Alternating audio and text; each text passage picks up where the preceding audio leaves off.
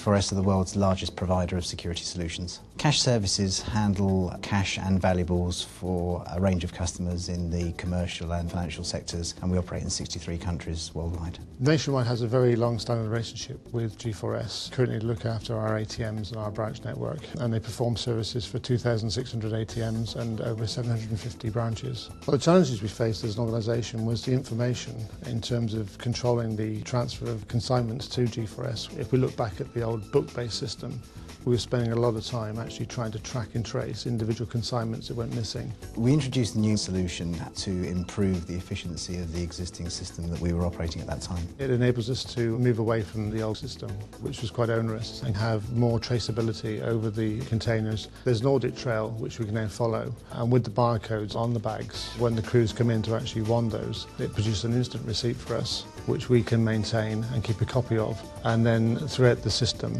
there's traceability in terms of where that container has ended up. And in terms of the speed of actually locating a missing consignment, we can now do that very quickly.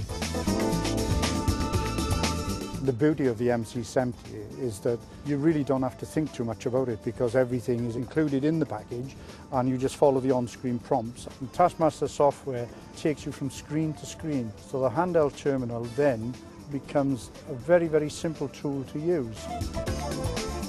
In the future, we'll be developing GPS, GPRS, we'll be developing site-specific barcoding, coin barcoding and the customer portal. The customer portal will give us the benefit to interrogate the systems ourselves and this will take away the onerous nature of having to make inquiries through G4S which also delays the process. I think the new handheld device will enable us to actually now start to scan coin and also give us by denomination also what's been picked up by the carrier themselves.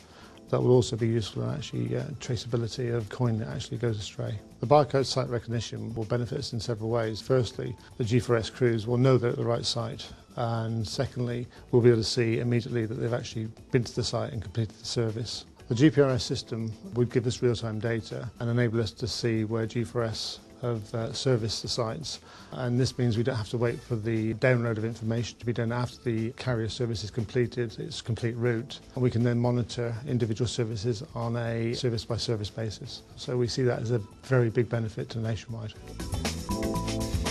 The new Motorola MC70 and Taskmaster solution will provide a scalable and secure platform to be used throughout the, the cash services network worldwide. The benefits we will see long term include the opportunity for us to, to build certain communication tools into the product. It will enable us to far more efficiently manage our system and provide a real-time solution which will be invaluable for not only the, the business itself but for our customers. And we believe that it will give us the platform from which to continue to lead from the front.